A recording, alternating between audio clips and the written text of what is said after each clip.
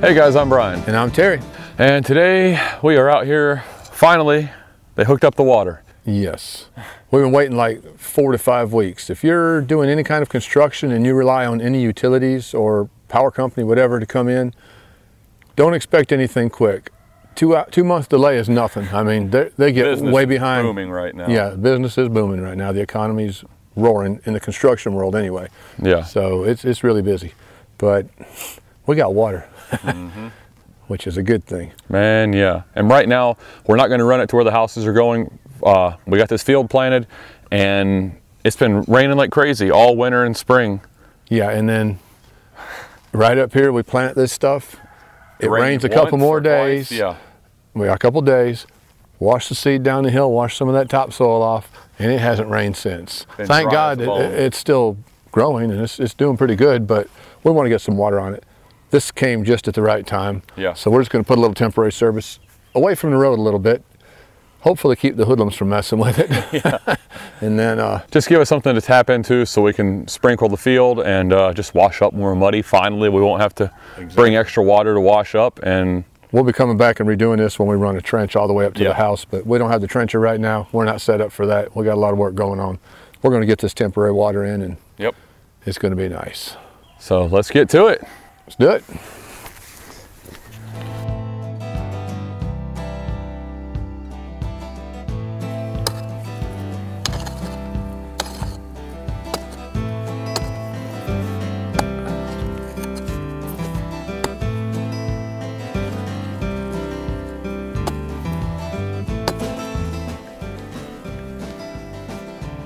We're not going to go too deep. We're beyond freezing nights and we're to be digging all this back up and doing it again. So we're only to go about six inches deep. When we do the final, we'll be about 18 or 20 inches deep.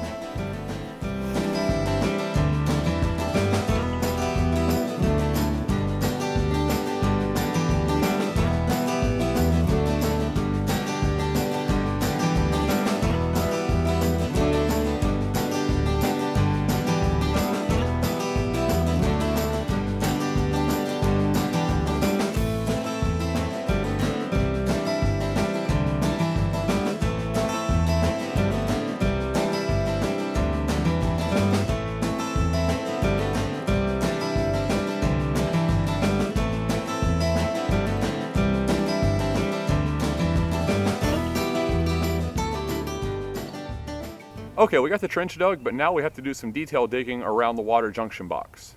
So here's the box they put in, and as you can see, it's a pretty small box. We bought a bigger one to put up here for our hose connection, and as you can see, there's really no room to work in here. It's very tight quarters.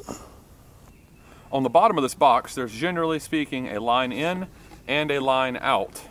So we're gonna have to dig the existing box up from the waterworks, make our connection, and put the box back in place so that we can do our connections in that confined area.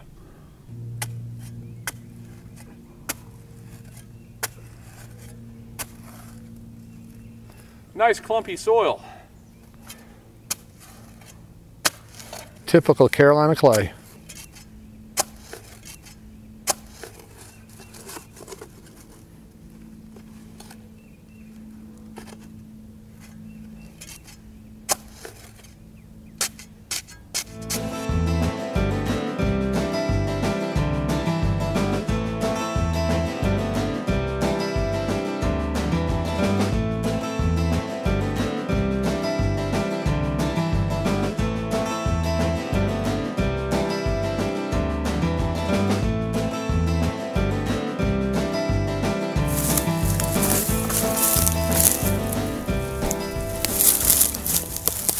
Okay. Hope you guys like my nice green kneeling pad here. This used to be under tents when we went camping. Dad bought a huge piece so that it would be under the tent and as a walk area outside the tent you can get your keep your feet clean, get in and out of the tent and not worry about getting dirt everywhere. As you can see, it's dwindled to quite the small piece in the last 25 years. so, all right. Now we are going to dig out for our junction to hook up a water hose right now. And this is the tub we bought. We bought it at a big box store. It was about uh, $12. It is 10 inches round and about 12, 14 inches tall. It has a spin lock system, and you got a finger hole you can drop your finger in to open it up. And has an inlet and an outlet if you need it. All we need is the inlet just to bring the water line in, and we're gonna do all our work down in here. They make rectangular boxes or they have the round ones, all various sizes. We went with the round one because it's economically priced and it'll do whatever we need done out here. So I guess right now I'm just gonna mark roughly where I want it. We figured after digging for about 10 minutes and not making it very far, this ground has turned very, very hard in a short amount of time because of the lack of rain. It's Carolina clay. Yeah, it's it's Carolina clay. It gets really hard really quickly. Down by the road, there's not that much topsoil. Up in our land, it's, it's better, you know, but down here by the road, it's pretty solid, isn't it? Yeah, it's very solid. So we uh, we diverted our path and made it a lot shorter. Just going to drop it back here behind the post of the fence and uh, wait until we get the trencher to go any further and make our actual line up to the house sites.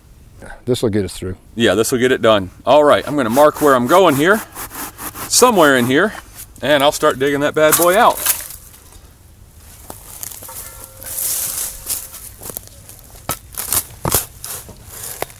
Gotta love a good Fiskars all steel shovel.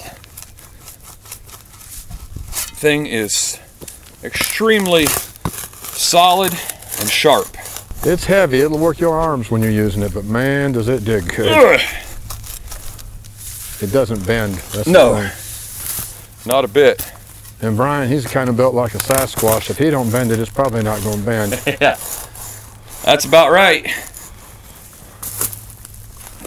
So y'all can say you had a Sasquatch sighting today. Are you calling me Harry? Yeah, slightly.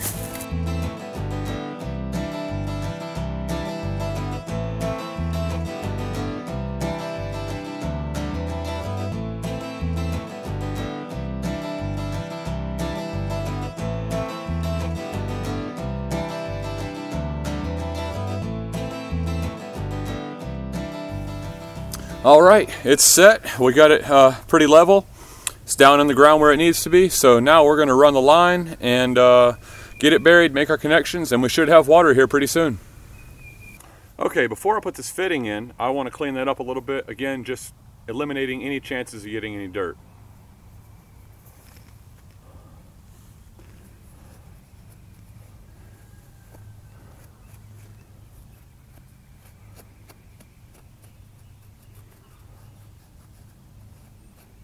Want a screwdriver? Just a second, let me show them this.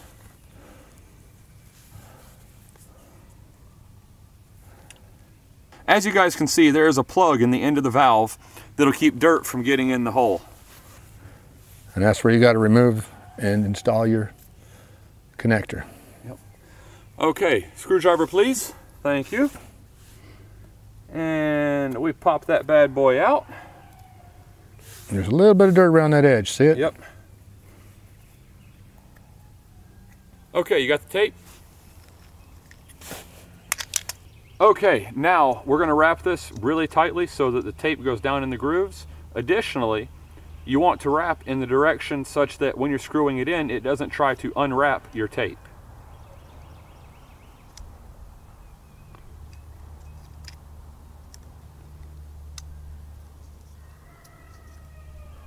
So if you're looking at the end of the connector, you're going to be going in a clockwise rotation. If you're looking at the end that's actually going to screw in, you're wrapping it in a clockwise rotation.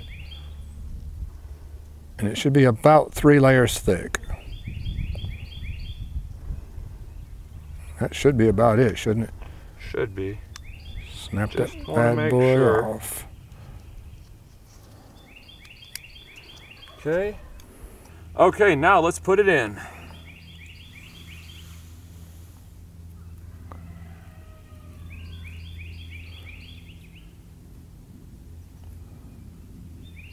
Okay, time for some pliers. Or channel locks, I should say. And we'll come back and check this joint, and we don't want to get it too tight. We don't want to break the plastic. But we'll come back and check it after we get the line in and make sure that it's not leaking. If it is, we'll snug it up a little more.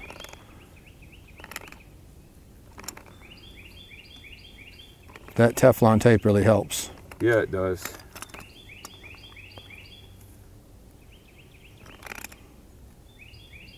Alrighty, let's get some PEX in here.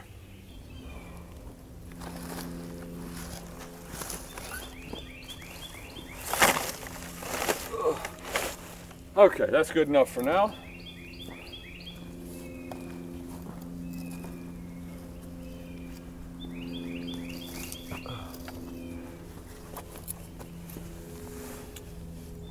Okay, now what I've got to do is put one of these PEX connectors on there and then use our handy dandy crimp tool and it will crimp down on the fitting and give us a watertight seal. Okay, as you can see, you take your crimp, your crimp goes over the PEX, then you slide your PEX onto the fitting. And that's a three quarter PEX, three quarter outlet, and a three quarter pipe fitting, right? Yep. And then you want to hold pressure on this inward so it doesn't rock around on me? Sure enough. Thank you. Then, right here on the side of my crimp tool is a little white dot. That is actually a blue light. So when I have applied proper pressure, that will light up and let me know that I am good to go.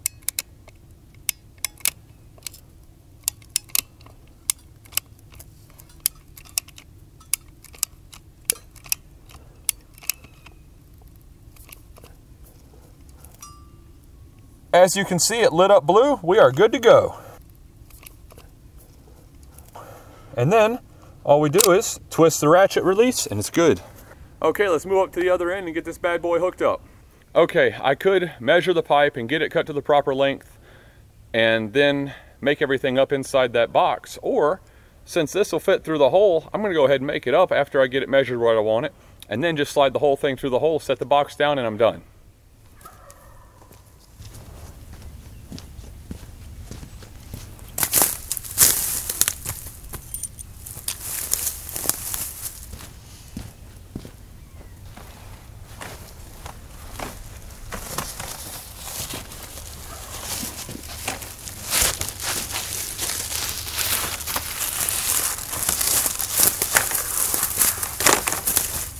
Step back, make sure it's good and tight here, or yep.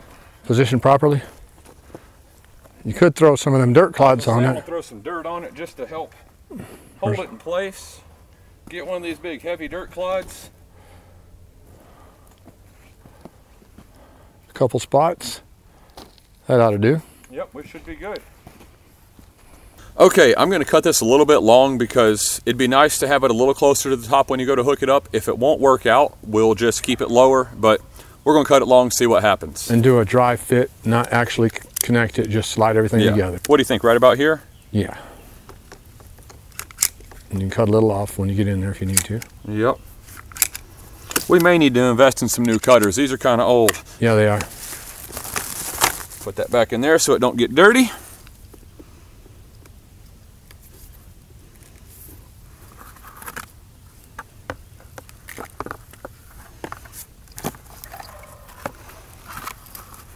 Turkey out there. Yep. That's definitely too long. Okay, to show you up close, as you can see, this is way too long and this stuff is pretty stout. It doesn't want to flex much. So I've, I obviously see this is too long. If I want this near the top, I want to cut right about on this S on plumbing systems and I'll drop it in there and we should be just under the top with it. So while holding this bucket down so it don't go all over, I'll reach in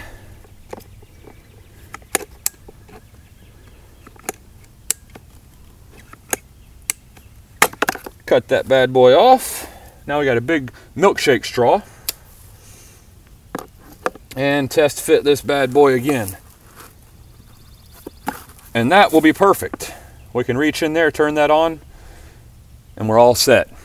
Okay, so now I'm gonna build another connection and just gonna, again, gonna slide the crimp over the PEX. And we use stainless steel crimps because they should last. Yeah, and then I'm going to get my handy dandy crimp tool.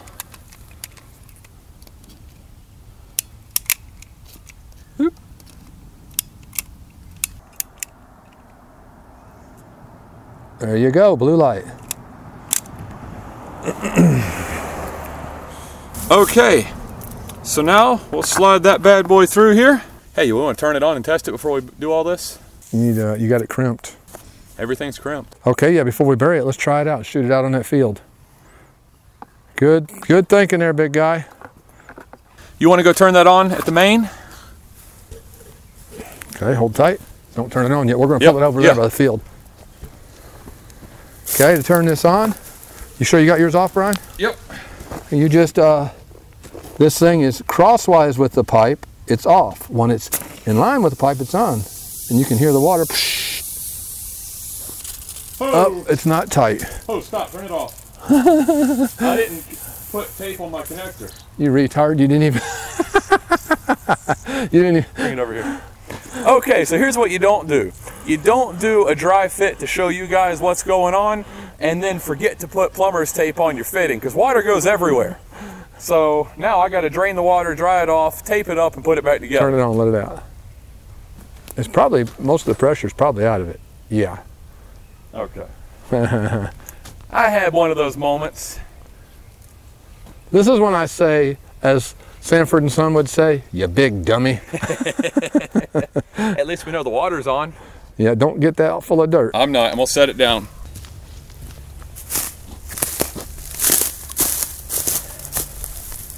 At least we know the water works. Definitely got water. You know what? Before you put that valve on, why don't you point that pipe out in the field and I'll crank it up and let it shoot some water out and clean that line out. Okay, You want to do that? we could do that. Just in case there's any boogers in it. Okie dokie. Oop. Stepped on my mat.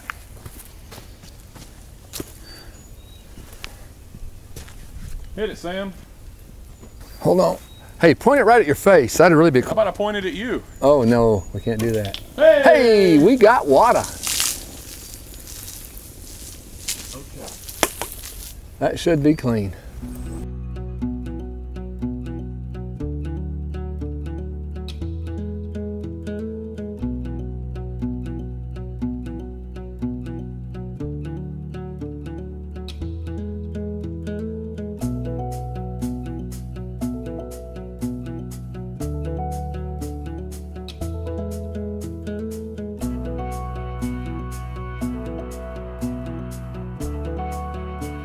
Hope you guys enjoyed that first burst of water with a slow motion. We just, we love slow motion.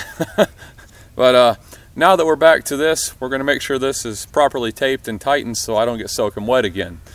So let's do this. Okay, again, remember to have your Teflon tape running in the direction of the twist so that you don't pull it off when you're tightening the item up. And also, remember to pull it nice and tight so that you get down in those grooves. You want to do about three wraps around the whole thing. Slipped on me there. Got to keep it pulled nice and tight. Keep that thumb on it, or else it will come untwisted.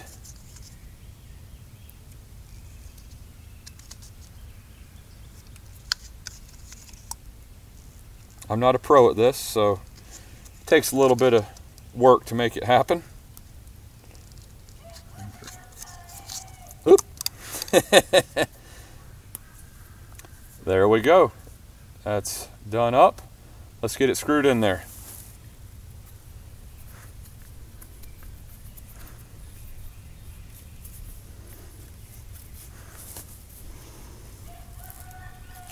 Okay, now I need some channel locks. Okay, now I'm going to give it some final tightening.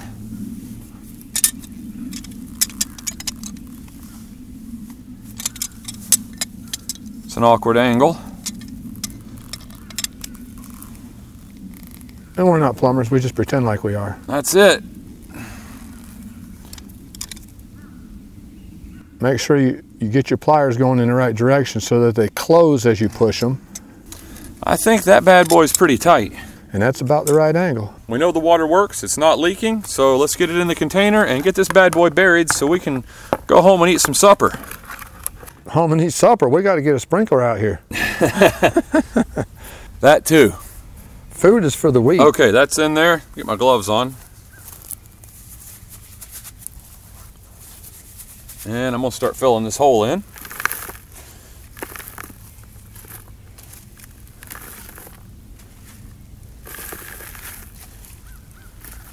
Tamp that. Your left. Huh? Your uh, left side down just a little bit if it'll go. That, that's good. Okay. It's a little crooked, but this is a temporary. It doesn't matter. Yeah, this is just temporary fixed. It's not permanent. Don't get water or dirt in the I'm spigot. trying to avoid getting it in there. Stick the cap over it.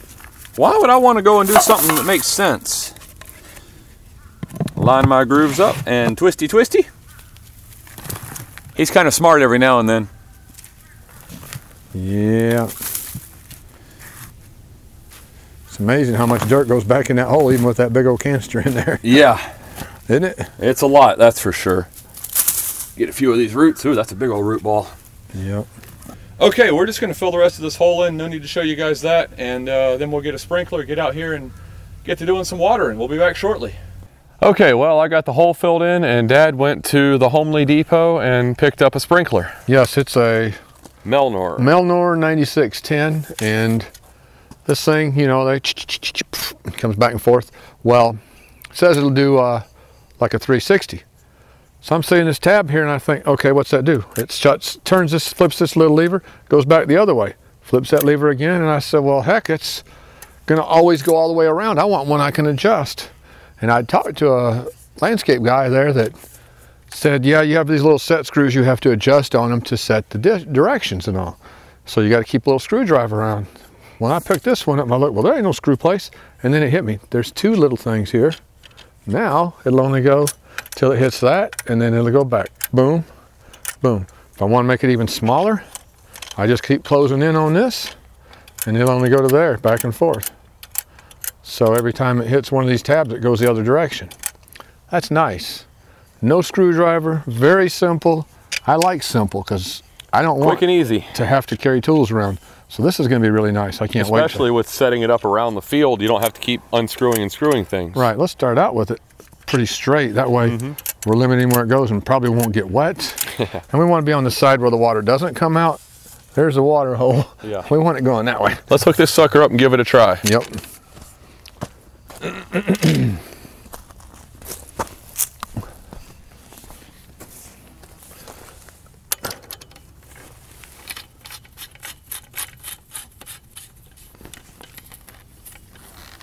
Uh, hopefully that don't leak.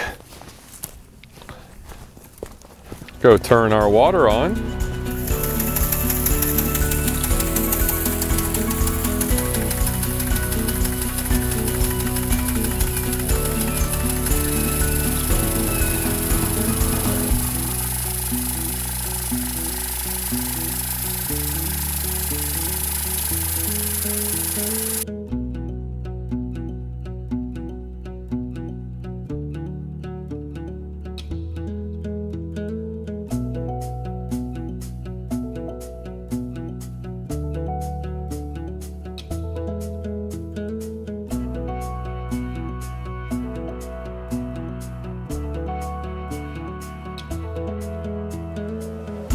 Alrighty, well, uh, that's about it.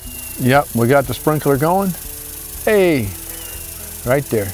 yeah. And it's another milestone. We've got water on the property. Yeah. This is a milestone. Yep.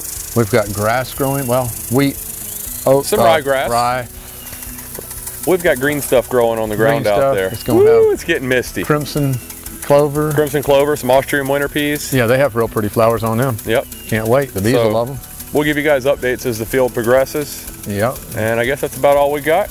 Yep. Please like, share, and subscribe, and check back often. There is a lot more coming. Yeah, Brian's going to stay or go home and edit this video for you to watch. Yeah. And I'm going to stay here and move this sprinkler head around the field. He's gonna nap all night. Yep. Well, I'll just be out here in a couple hours or something. Yeah. So, Have a good one, guys. y'all have a good evening.